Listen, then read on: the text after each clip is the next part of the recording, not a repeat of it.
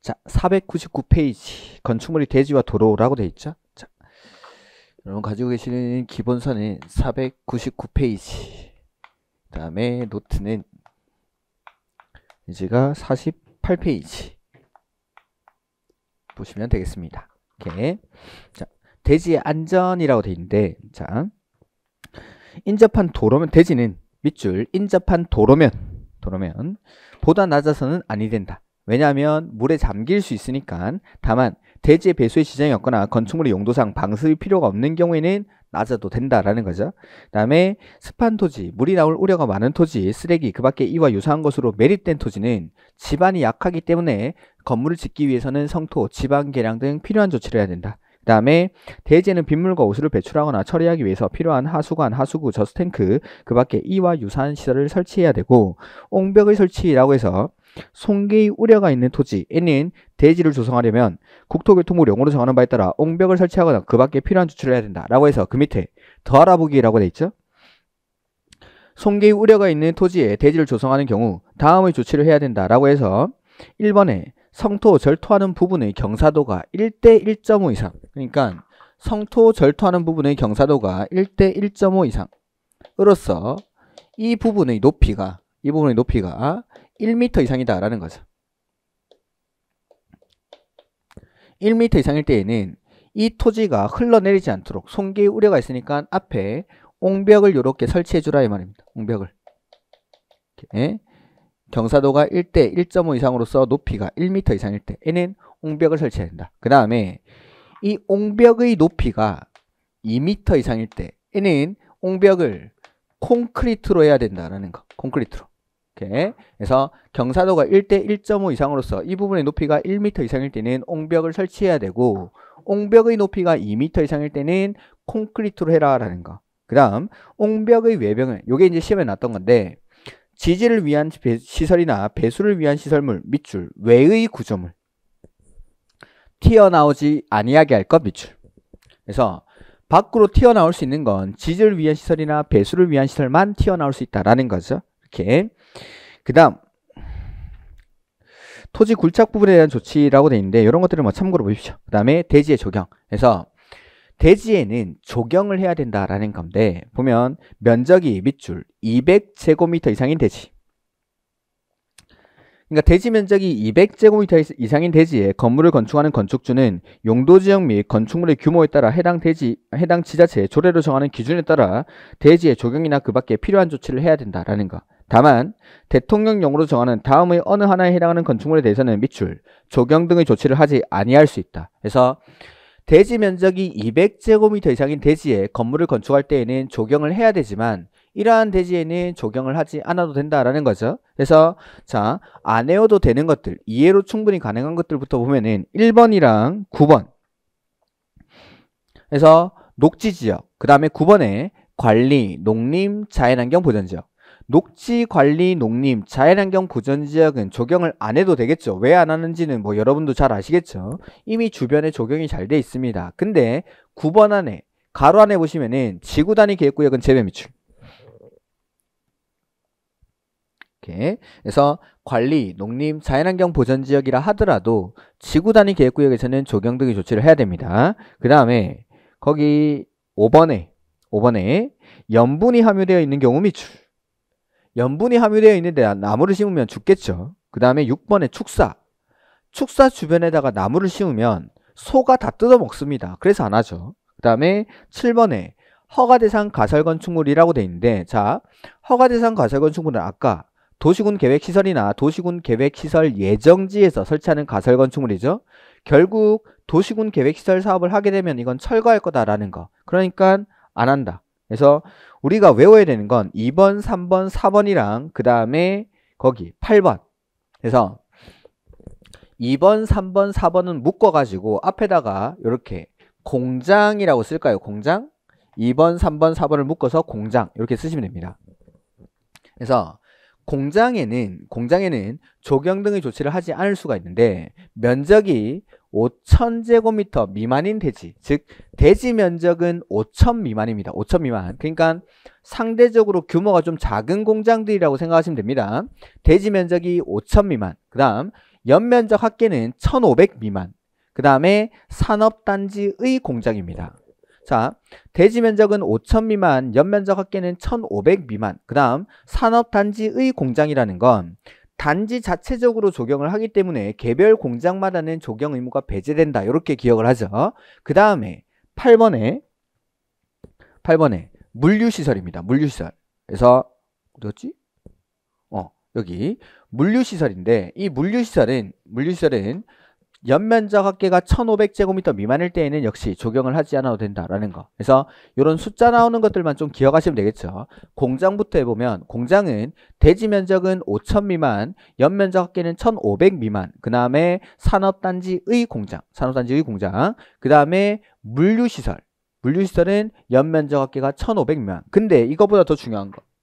물류시설이라 하더라도 이 노란색으로 강조를 안 했는데 주거 지역이나 상업 지역에서는 제외, 즉 주거 지역이나 상업 지역에 설치하는 물류 시설은 면적에 관계없이 조경을 해야 된다라는 겁니다. 면적에 관계없이. 요게 조경에 관한 내용. 그 다음 501페이지 옥상 조경이라고 돼 있죠.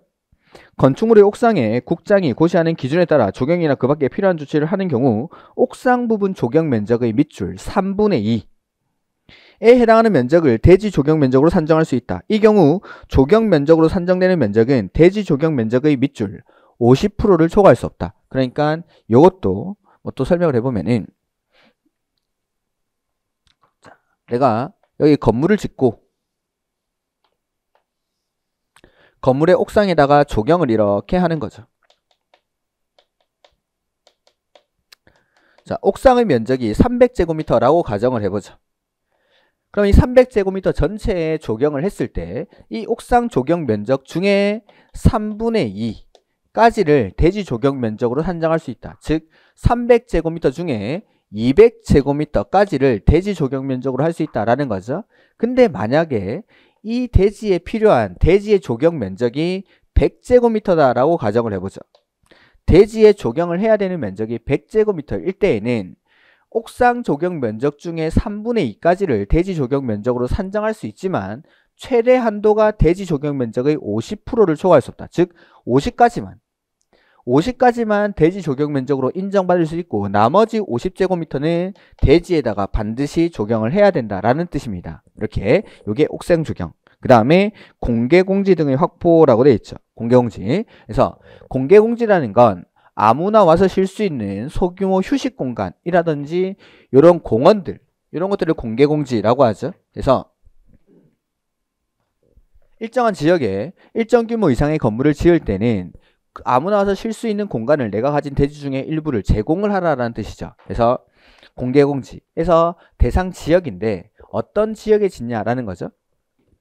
사람들이 많이 모이는 지역에다가 도시 지역에서 공공이 공원 시설 공원 부지 같은 걸 확보하기가 힘드니까 사람들이 많이 모이는 지역에 많이 모이는 건물을 건축하는 사람들에게 네가 가진 대지 중에 일부를 아무나 와서 쉴 수 있는 공간으로 제공을 해달라라고 하는 겁니다. 그래서 공개공지의 설치 대상 지역은 첫 번째 모든 상업 지역입니다. 사람들이 제일 많이 모이는 지역 그 다음에 상업 기능이 포함된 지역이 있죠. 준주거랑 준공업 이렇게 그 다음에 하나 더 일반 주거지역 이렇게 그래서 다음 중 공개공지를 설치해야 되는 대상 지역에 해당하지 않는 것은 했을 때 정답으로 제일 많이 나왔던 게 전용 주거지역 전용 주거지역은 아무나 갈 수 없는 곳입니다. 사람들이 많이 오면은 여기는 양호한 주거 환경이 확보가 안 되겠죠. 그 다음에 공업지역에 쉬러 가고 싶은 사람은 없겠죠. 전용 공업 지역, 일반 공업 지역도 하지 않고 중공업 지역. 그래서 요런데 그래서 이런 곳에다가 대상하는 건물들 이런 건물을 지을 때는 공개 공지를 설치하라 이 말이죠. 그래서 대상 건축물인데 요거는 제가 다중이용 건축물 할 때 한번 했었는데 사람들이 많이 모이는 건물입니다. 그래서 종교시설, 운수시설, 그 다음에 문화집회시설, 판매시설, 그 다음에 업무시설, 숙박시설 이렇게 있었죠. 그래서 종문화, 종문화 5천원짜리, 5천원짜리 문화상품권 파는데 업숙? 여기 업숙? 하면은 이게 공개공지 설치 대상 건축물. 근데 여기서 업무시설이 의료시설로 바뀌면 의료시설 중에 종합병원으로 바뀌면 그게 다중이용 건축물입니다. 다중이용 건축물 아니면 16층 이상인 건축물이 다중이용 건축물이었죠. 그래서 공개 공지 설치 대상 지역 설치 대상 건축물. 그래서 설치 대상 건축물은 종우나 5천원짜리 문화상품권 파는데 업숙? 그 다음에 요 판매 시설에서 제외되는 게 농수산물 유통 시설은 제외하겠다라는 거. 그런 것들도 좀 추가를 해 놓으시면 되겠죠. 노트에는. 자, 보시면은 공개 공지 등의 확보라고 되어 있는데 다음의 어느 하나에 해당하는 지역의 환경을 쾌적하게 조성하기 위해서 대통령령으로 정하는 용도와 규모의 건축물은 일반이 사용할 수 있도록 대통령령의 정하는 기준에 따라 소규모 휴식시설 등의 공개 공지나 공개 공간을 설치해야 된다라고 이 경우 공개 공지는 밑줄 필로티 구조로 할 수 있다. 해서 설치해야 되는 대상 지역이 일반 주거, 준주거, 모든 상업지역, 그냥 상업지역이라고 돼 있으니까 중심, 일반, 유통, 근린을 다 말하는 겁니다. 그 다음에 중공업지역, 그 다음에 시장, 군수, 구청장이 도시화의 가능성이 크거나 노후산업단지의 정비를 위해서 필요하다고 지정 공고하는 지역. 이렇게 이런 지역에다가 공개공지를 설치한다. 두 번째, 설치 대상 건축물인데 요거 종우나 5천원짜리 문화상품권 파는데 업숙? 하면은 공개공지 설치 대상 건축물. 오케이. 근데 거기 판매시설 뒤에다가 판매시설 뒤에 농수산물 유통시설은 제외 거기 밑줄 하나 하죠. 오케이. 그 다음에 이런 대상 지역에다가 이런 건물을 지을 때 사람들이 많이 모이는 건물을 지을 때는 공개 공지를 설치해야 되는데 얼마나 설치하냐라는 거죠. 그래서 대상 면적인데 규모는 대지 면적의 10% 이하에서 설치합니다.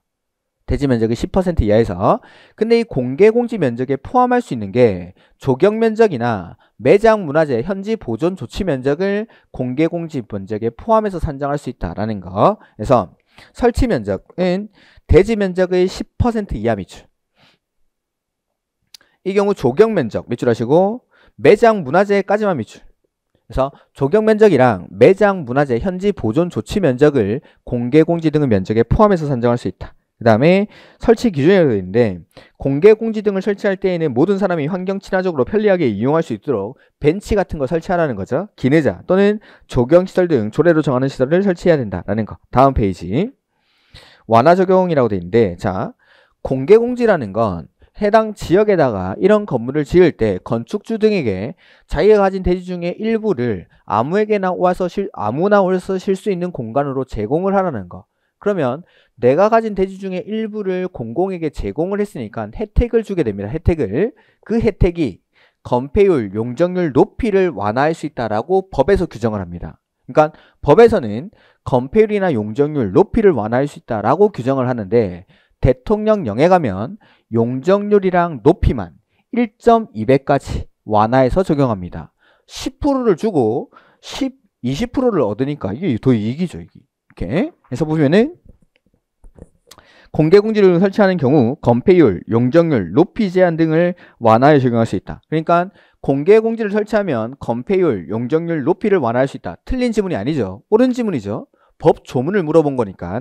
근데 그 밑에 건축물에 공개공지 등을 설치하는 경우에는 다음의 범위에서 대지 면적에 대한 공개공지 등의 면적 비율에 따라 용적률이랑 높이를 완화할 수 있다. 이건 대통령령에서 정하는 규정입니다. 즉 법에서는 건폐율, 용적률, 높이를 완화할 수 있다라고 규정을 하지만 대통령령에 가면 용적률이랑 높이를 박스 안에 1.2배까지 1.2배까지 완화할 수 있다. 그 다음에 가로 4번에 유지 관리인데 시도지사 시장군수 구청장은 관할구역 내 공개공지 등에 대한 점검 등 유지 관리에 관한 사항을 해당 지자체 조례 동그라미 하나 넣죠. 조례. 그 다음에 누구든지 공개공지 등에 물건을 쌓아놓거나 출입을 차단하는 시설을 설치하는 등 공개공지 등을 활용하는 활용을 저해하는 행위를 해서는 안 된다. 이 경우 제한되는 행위의 유형 또는 기준은 대통령령으로 정한다라고 돼 있죠.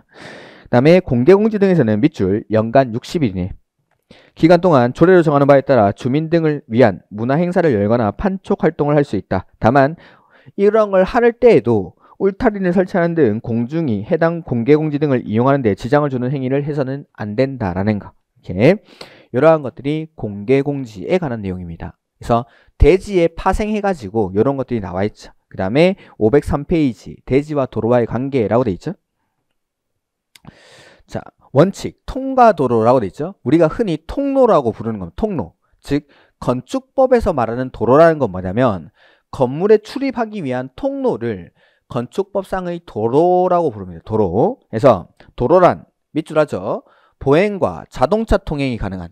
그래서 건축법에서 도로가 되기 위해서는 차량만 다닐 수 있으면 안 되고 사람만 다닐 수 있어도 안 되고 보행과 자동차 통행이 가능해야 됩니다. 보행과 자동차 통행이 보행과 자동차 통행이 가능한 너비는 밑줄 4m 이상인 도로나 그 뒤에 예정도로 밑줄 예정도로까지도 도로에 포함을 합니다.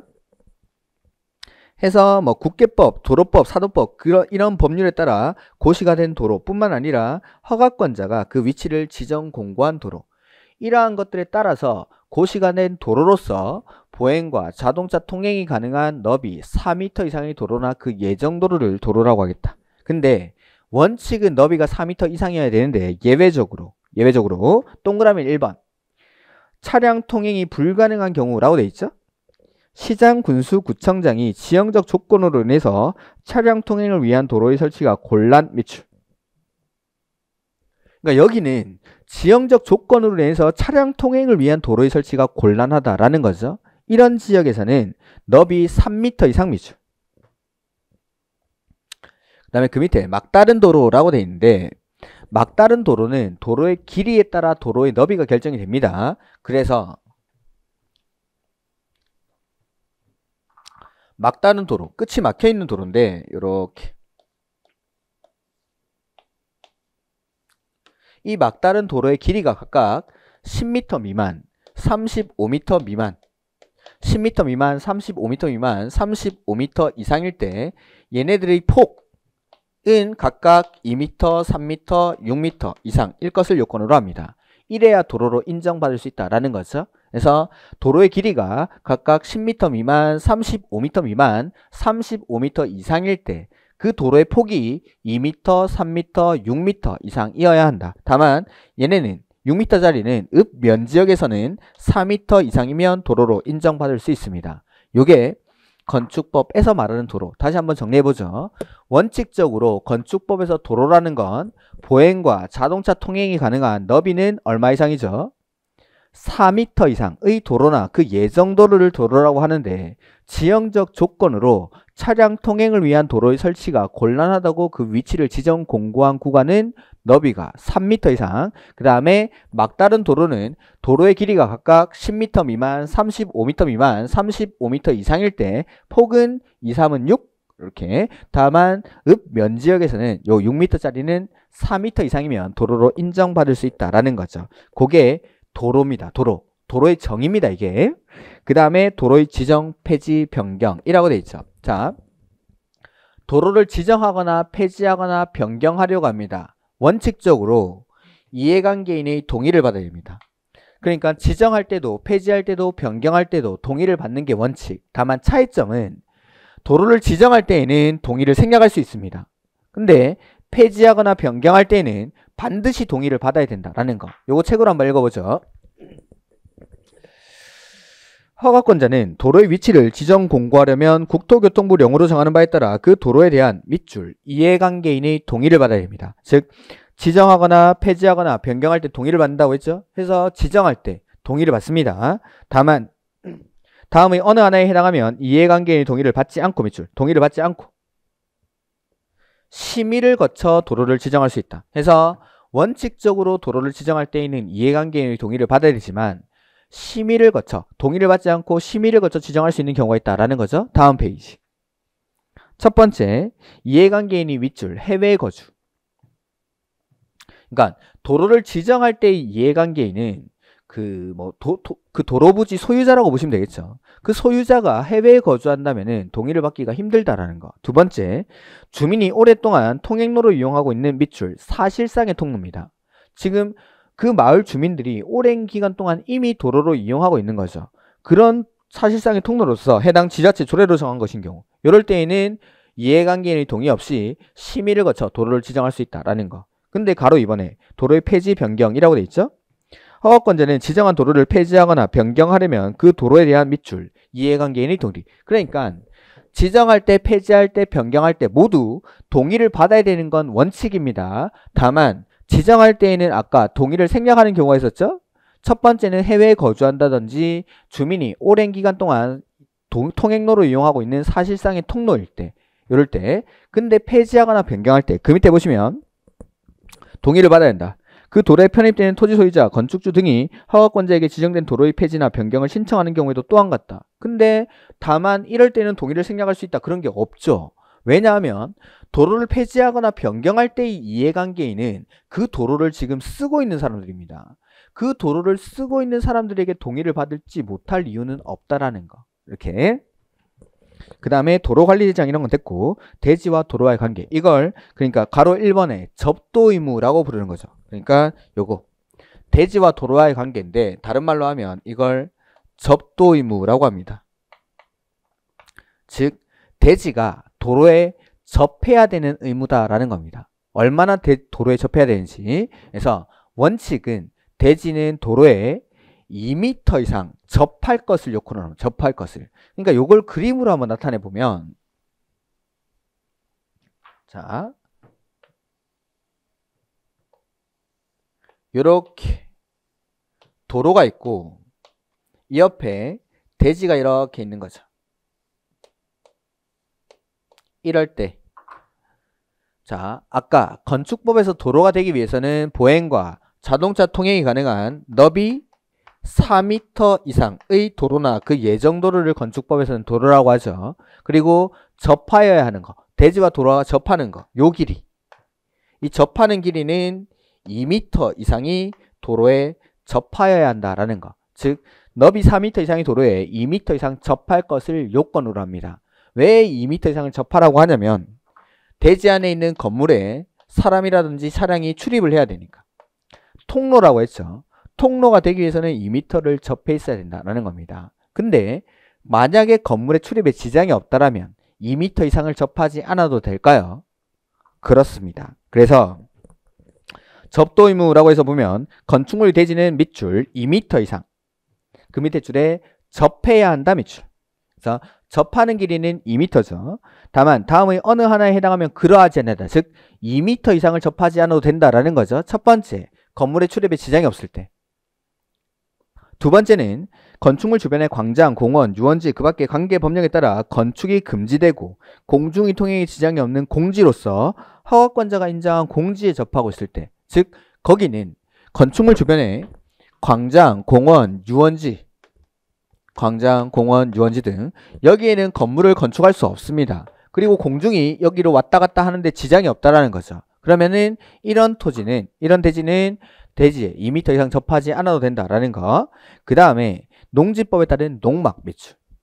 이러한 것들은 2m 이상 접하지 않아도 된다라는 거. 그 다음 가로 4번에 강화라고 돼 있는데 자 아까 보니까 원칙적으로는 너비 4m 이상의 도로에 2m 이상 접할 것을 요건으로 한다라고 했죠. 근데 이 건물의 규모가 만약에 크다라면 건물이 크면 더 넓은 도로에 더 많이 접할 것을 요건으로 합니다. 그래서 연면적 합계가 밑줄 2000제곱미터 이상 가로 안에 공장은 3000제곱미터 이상 인 건축물은 건축물은 마지막 줄에 너비 6m 이상의 도로에 4m 이상 접해야 한다. 원래는 4m 이상의 도로에 2m 이상 접하면 되지만 연면적이 2000제곱미터 이상, 공장은 3000제곱미터 이상일 때에는 너비 6m 이상의 도로에 4m 이상 접할 것을 요건으로 한다. 하나만 더 밑줄 하죠. 거기 첫 번째 줄. 축사, 작물 재배사 이런 것들은 제외 미출. 축사나 작물 재배사는 제외.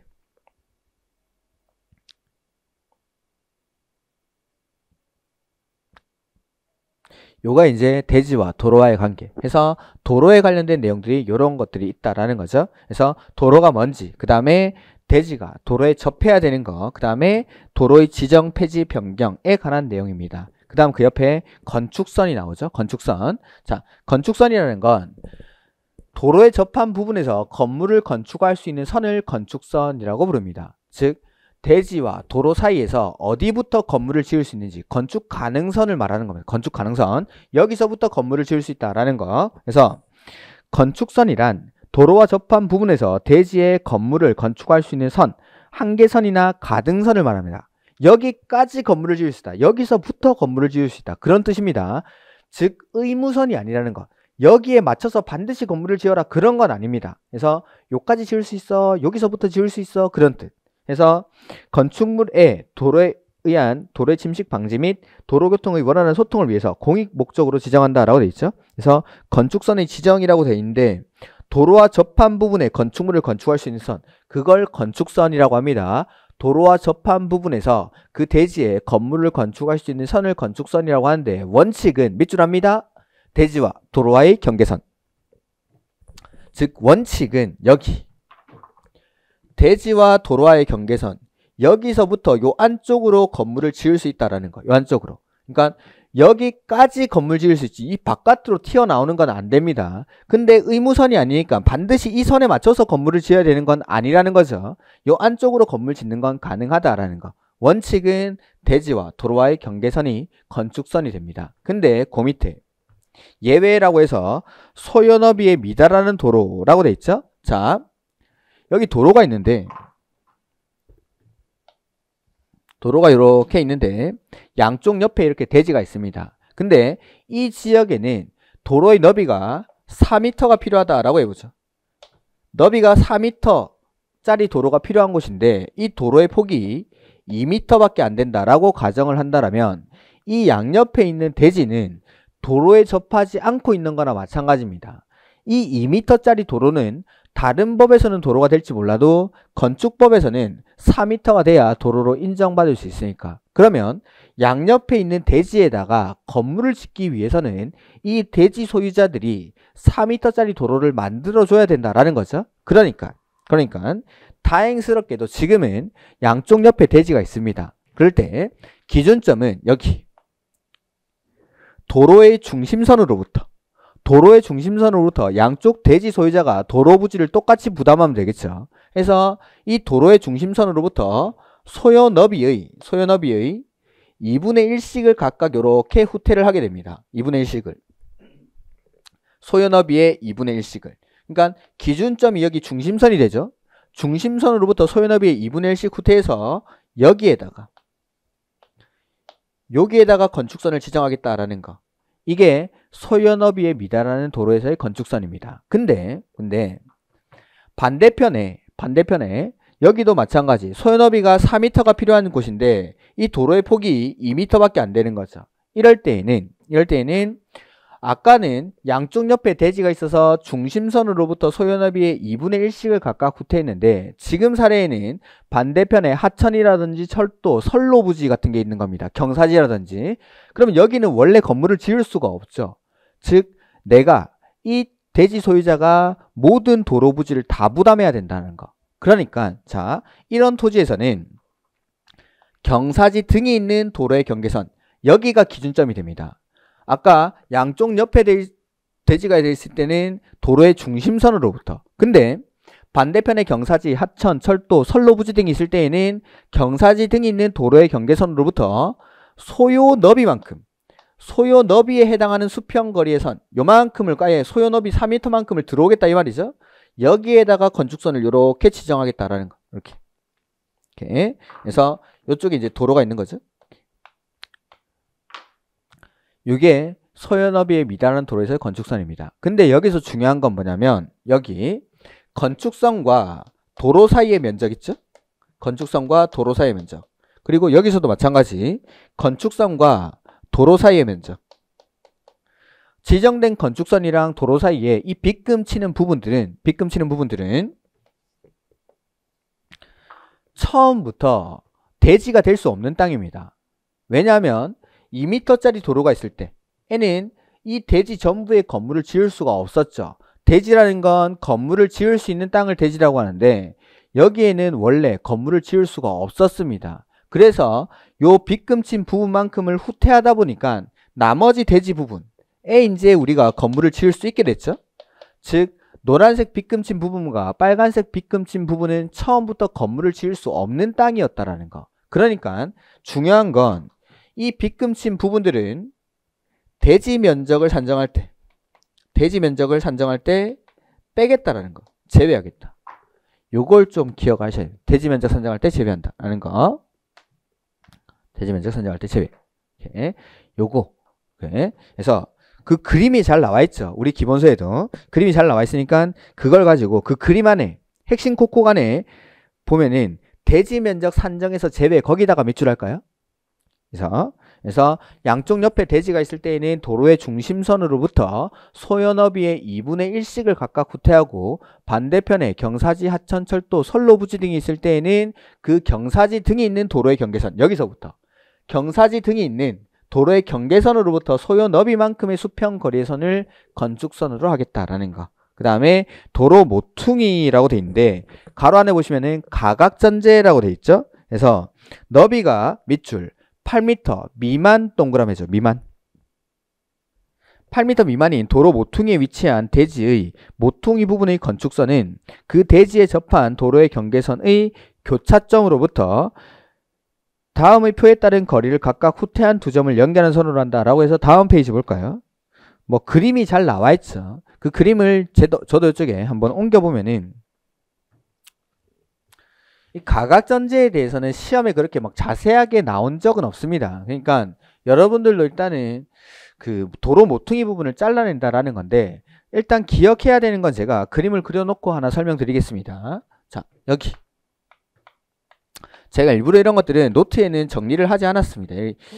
그 시험에 그렇게 잘 나오는 부분이 아니라서 자 이렇게 도로 사거리가 있다라고 해보죠. 그 다음에 여기 내가 대지를 가지고 있습니다.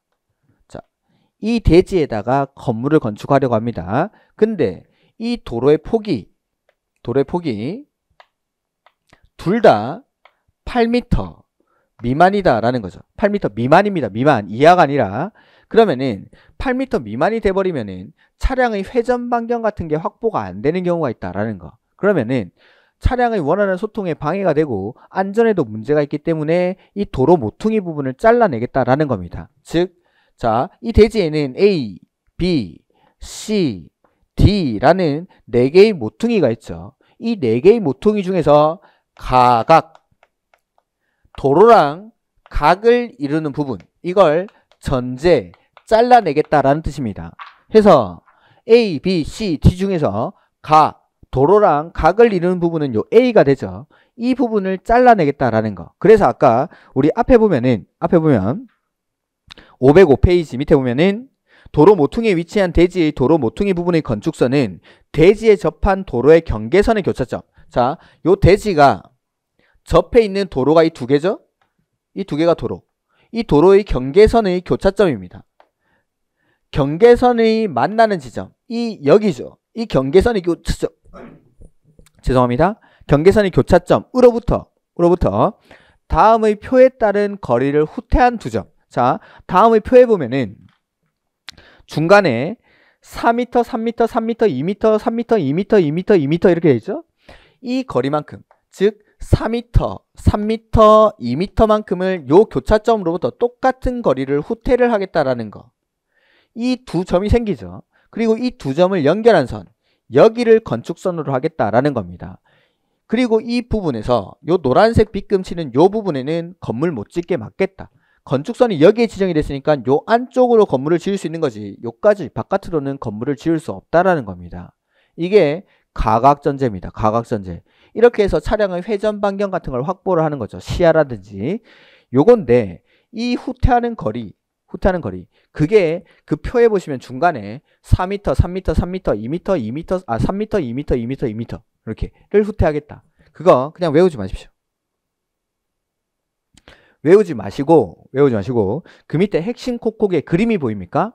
자, 아직 계산 문제로 나온 적은 없습니다. 나온 적은 없는데 여기서부터 4m, 3m, 2m씩을 후퇴를 하는데 그때 만약에 계산 문제로 나온다면 그, 그 전에, 그 전에 이 노란색 부분은 일단 대지 면적 산정할 때 제외합니다.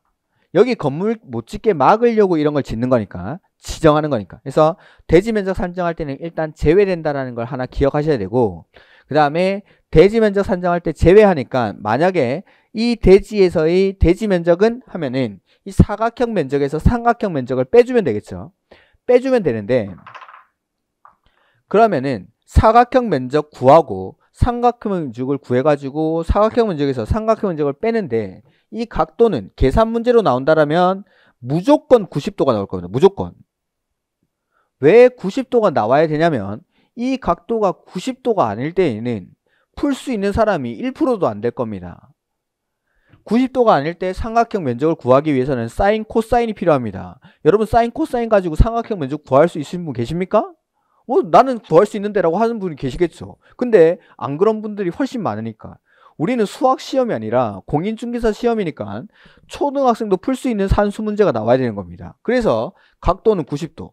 각도가 90도라면은 여러분들이 이제 삼각형 면적 구할 수 있겠죠. 이것 곱하기 이것 곱하기 해가지고 나누기. 근데 이건 구, 이거 동일한 거리를 후퇴했다라고 했으니까 이등변 삼각형이 됩니다. 이 거리가 똑같죠. 이등변 삼각형이 뭔지도 모르시나? 자 이렇게 이 두 개의 길이가 똑같다라는 거. 똑같은 거리를 후퇴했으니까. 그럼 곱하기 곱하기 해가지고 나누기 이하면은 이 삼각형 면적이 됩니다. 그러면은 우리 그 표를 볼까요? 표? 자, 506페이지 위에 있는 표를 보면은 각도가 90도죠. 각도가 90도라면 자, 교차각이 90도 미만, 120도 미만이라고 돼 있죠? 자, 교차하는 도로의 너비가 둘 다 8m 미만입니다. 그 다음에 이 교차하는 각도 120도 미만일 때 가각전제를 합니다. 근데 그 표에 보면은 90도 미만인 경우랑 120도 미만인 경우를 나눠놨죠. 90도 미만에서 찾아야 될까요? 120도 미만에서 이 거리를 찾아야 될까요?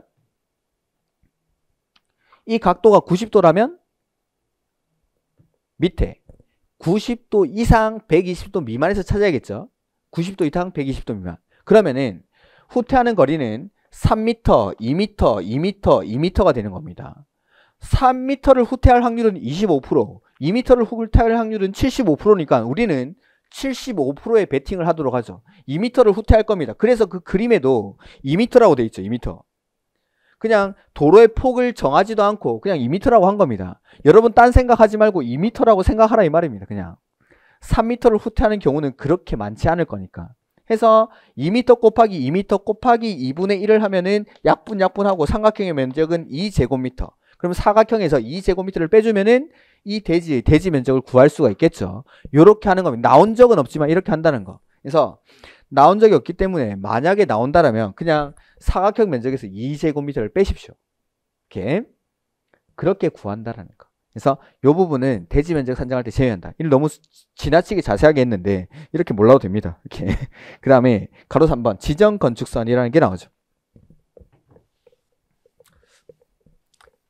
아마도 제가 4월 강의에서는 주택법 다는 못하고 공급 부분 빼고 건설 즉 사업계획 승인까지 아마 할 것 같습니다. 그리고 주택법의 공급 부분이랑 공급 부분이랑 그 다음에 그 농지법 부분 제가 5월 달에 할 겁니다. 그리고 농지법은 5월 달 맨 첫 시간에 저 저한테 야 이거 왜 넘어가 하고 막 그러시는데 넘어가는 게 좀 편하실 텐데.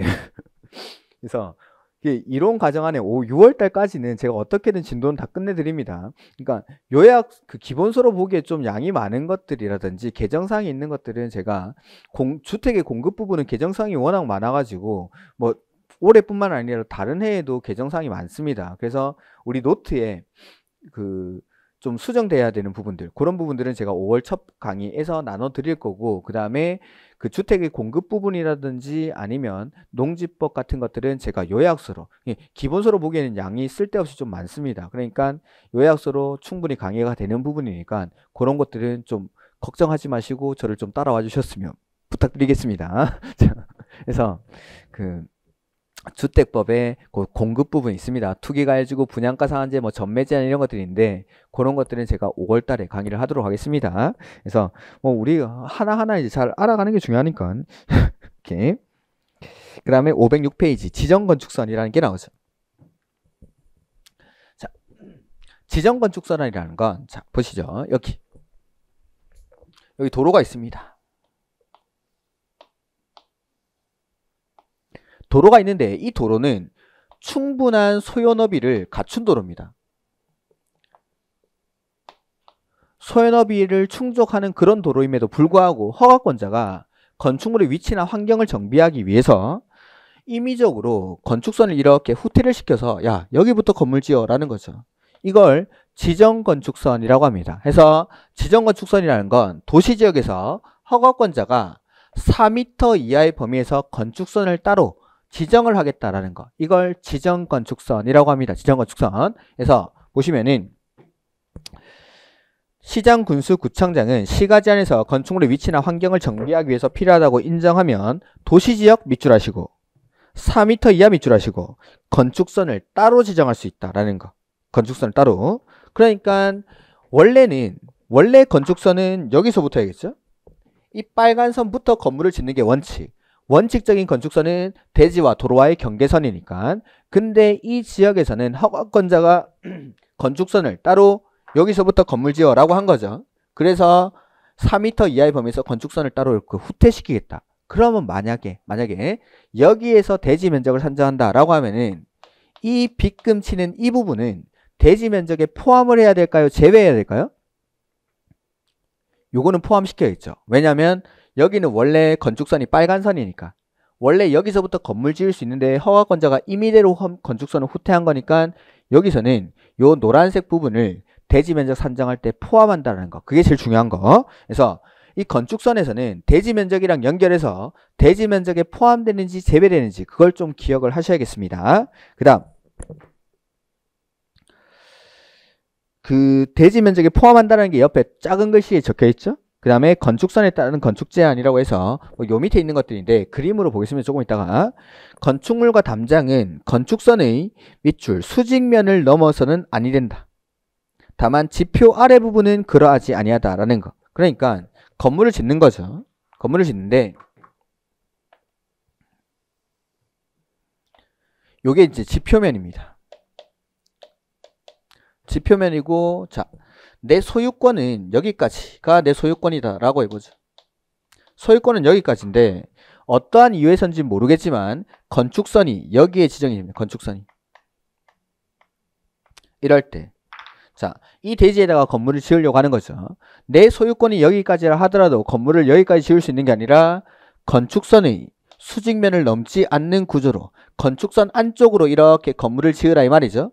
왜냐하면 건축선 바깥으로 튀어나오면 보행이나 자동차 통행에 방해가 될 수 있으니까. 그러면 지표 아래 부분은 내 소유권이 미치는 영역까지 건물을 지을 수 있냐라는 겁니다. 네. 왜냐하면 보행이나 자동차 통행에 방해가 안 되니까. 이렇게 해서 건축물과 담장은 건축선의 수직면을 넘지 않는 구조로 하여야 한다. 다만 지표 아래 부분은 그러하지 아니하다라는 거. 그 다음에 가로 2번에 개폐시 월성 금지라고 되어 있는데 도로면으로부터 높이 4.5m 이하. 그래서 자 기준점이 도로면이죠. 도로면으로부터 높이 4.5m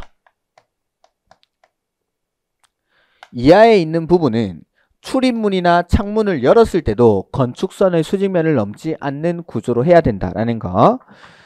요까지까지. 그 다음에 건축물의 구조, 재료, 설비 이런 것들이 나오는데 자 건축물의 구조, 재료, 설비 이런 부분들은 제가 문제풀이 할 때 필요한 부분들은 따로따로 그 문제집에서 언급을 드리도록 하겠습니다. 이걸 너무 다 보기에는 양이 너무 많습니다. 그래서 일단 요 부분은 제가 넘어갈 겁니다. 넘어가시고 음... 어디까지 넘어갈 거냐면 이런 것들은 문제 풀이 할 때 아마 다 나와 있을 겁니다. 해서 제가 필요한 부분들은 좀 발췌를 해가지고 알려드리도록 할 거니까 기본서로는 안 보셔도 좋습니다. 안 보셔도 좋고 쭉쭉쭉 넘어가가지고 그 520페이지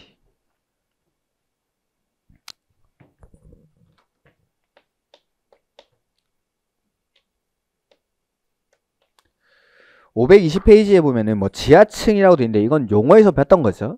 그래서 해당 건축물이 바닥이 지표면 아래 있는 층으로서 바닥에서 지표면까지의 평균 높이가 해당 층 높이의 2분의 1 이상인 거. 이렇게 뭐 그런 것들이 있고 핵심 콕콕에 보면은 지하층은 건물의 층수를 산정할 때는 뺍니다. 그리고 연면 용적률을 산정할 때 연면적에서도 제외한다라는 거 그런 것들은 나중에 이제 나올 거고 그 다음에 522페이지에 뭐 건축 설비 이런 것들 그 다음에 넘어가시고 그 다음에 525페이지 지역 지구안의 건축물이라고 돼 있죠. 지역 지구안의 건축물 여기서부터 다음 주에 보도록 하겠습니다. 여기서부터. 그래서 여기서부터 지역 지구안의 건축물에 보면은 뒤에 넘겨보시면 뭐 대지 면적, 건축 면적, 바닥 면적, 연 면적 이런 것들 산정하는 방법이 나옵니다. 그 다음에 건축물의 높이 제한이라는 게 나올 거고 그 다음에 건축협정, 특별건축구역 이런 게 있는데 특별건축구역이나 건축협정 같은 것들은 제가 5, 6월 달에 강의를 하도록 하겠습니다.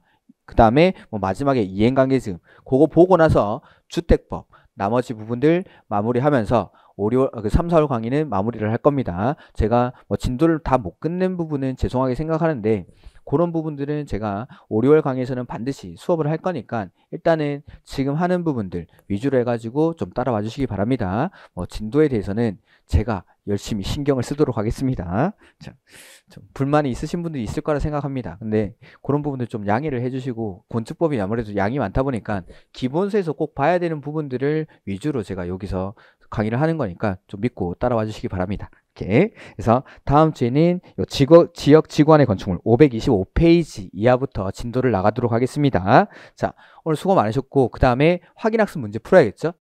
1번 문제 보도록 할 건데 허가 제한에 관한 설명이죠. 이제 올해 문제인데 국방 또는 문화재 또는 국민 경제를 위해서 특히 필요한 경우에는 주무부 장관이 허가를 제한하는 게 아니라 국장이 제한하는 겁니다. 그래서 주무부 장관이 요청을 하면 국장이 제한할 수 있다. 그 다음에 지역계획을 위해서 특히 필요한 경우에는 도지사는 특별자치시장이 허가를 제한하는 게 아니라 국특별시장, 광역시장, 도지사는 시장, 군수, 구청장의 허가를 제한할 수 있습니다. 이렇게. 그 다음에 허가를 제한하는 경우 제한 기간은 2년 이내로 하고 한 차례 1년 연장할 수 있죠. 3번이 정답.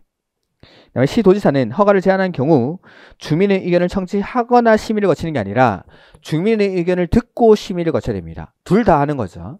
그 다음에 국장은 허가를 제한한 경우 제한 목적, 대상 건축물 용도와 대상 구역의 위치, 면제, 경계 등을 지체 없이 제한한 사람이 공고를 하는 게 아니라 국장이나 시도지사가 제한을 하고 나면 허가권자에게 통보를 해줍니다. 그 통보를 받은 허가권자가 공고를 한다라는 거. 이렇게. 그 다음에 이번에 갑은 A도 BC에서 연면적이 100제곱미터이고 2층인 건축물을 대수선하고자 건축 신고를 하려고 한다. 이에 관한 설명으로 옳은 것. 갑이 대수선하기 전에 B 시장에게 건축 신고를 하면 허가를 받은 것으로 본다. 네. 신고 대상 건축물은 신고를 하면 허가를 받은 것으로 간주하겠다라는 거. 허가 대신에 신고를 하면 된다라는 거죠. 1번이 정답이고 신고를 한 갑이 시공자를 변경할 때 제가 아까 말씀드렸죠. 건축 허가라는 건 대물적 행정 처분이기 때문에 설계자, 시공자, 뭐 건축주, 감리자, 사람 바뀌는 건 중요한 내용이 아니라서 변경 신고를 하면 된다라는 거. 그 다음 B 시장은 건축 신고를 수리 전에 건축물의 안전 영향 평가. 자, 그 해설에도 나와 있지만 안전 영향 평가를 해야 되는 건물은 초고층 건축물 내지는 연면적이 10만 제곱미터 이상, 이고 16층 이상인 건축물. 요것들. 근데 요거는 뭐 연면적도 안 되고 초고층 건축물도 안 되고 하죠. 그 다음에 건축 신고를 한 갑이 신고로부터 1년 안에 착수하지 아니하면 신고 효력이 없어지죠. 신고 대상 건축물은 1년 안에 착공을 해야 되고 건축 신고를 한 갑은 공사가 끝난 후에 사용 승인 신청이 없이 건물을 사용할 수 있다. 아니죠. 허가 대상 건축물, 신고 대상 건축물, 허가 대상 가설 건축물은 공사가 끝난 후에 사용 승인을 받아야 된다라는 거. 그 다음에 3번 조경 등의 조치를 하여야 하는 건축물이라고 되어 있는데 1번이죠. 자, 연면적이 1500제곱미터 미만인 물류시설은 조경을 하지 않아도 되지만 주거지역이나 상업지역에 설치하는 물류시설은 조경 등의 조치를 해야 된다라는 거. 그 다음에 4번 문제 보시면은 건축면적 요거 안 했는데 4번은 정답이 일단 3번이고 5번은 정답이 일단 2번입니다. 4번, 5번은 오늘 수업을 못했습니다. 요 두 개 문제, 문제는 다음 주 수업을 듣고 한번 확인해 보시기 바랍니다. 이렇게 해서 오늘 수업 여기까지 하고 다음 주에 뵙도록 하겠습니다. 수고하셨습니다.